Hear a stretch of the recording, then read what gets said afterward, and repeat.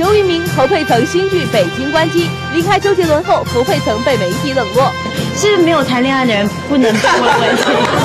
由周渝民和侯佩岑主演的电视剧《美味的童话》呢，终于在北京关机了。在长达十个月的拍摄过程当中呢，两位成了好朋友，所以呢，在关机的现场互相揭短的时候呢，也是毫不留情。会越哭越丑，画面，然后已经就美女的形象已经丢掉了，然后就变成戏里面那种哭的眼睛都肿了，然后鼻子都红了，鼻涕，然后眼泪，脸上都黏黏的感觉。侯佩岑在剧中太过投入的哭泣，毁掉了自己在周渝民心中一直以来的美女形象。其实就连侯佩岑本人也认为，这次她在剧中的角色有点过于狼狈了。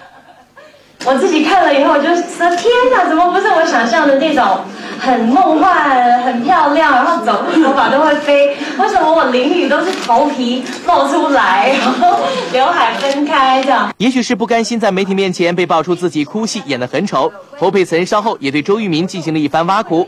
虽然周渝民为了这部戏专门学习了一个多月的法国料理，但侯佩岑还是觉得周渝民的厨艺不够好。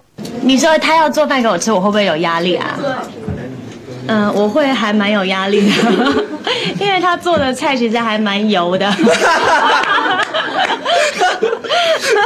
因为就是我们在戏里面为了要漂亮，其实我们的菜哇，他你看他煎蛋，他这样一手这样翻起来，那个蛋是在空中这样转下来碰，可是其实是都还蛮油。那我都要负责试吃的工作，他就在旁边这样子很帅的看。所以仔仔如果要做菜给我们吃的话，麻烦体谅一下女生，对对对，油少一点，油这个东西就要对对对对对。聊完了关于美味的童话的话题，媒体的关注点立即转到了大仔恋上。日前有媒体爆出，比周渝民大五岁的大 S 因为已经厌倦总是照顾别人，两人已经在日前正式分手。不过，对于分手的传闻，周渝民却总是采取了打太极的态度来回应。哎呀，不要问个感情，其实不用一直围绕在我我跟他身边。然后比如说我出来就问问问关于他还有我之间的事情，然后 S 出来就问我们之间的事情。其实多少啊都会有点对不起，就是我们这次来的，然后。邀请我们来的主办单位，然后其实我们心里会觉得不好意思。在当天的发布会上，可以明显看出，大家对于周渝民的关注程度要远远高于侯佩岑。其中的原因当然是因为少了周杰伦的缘故。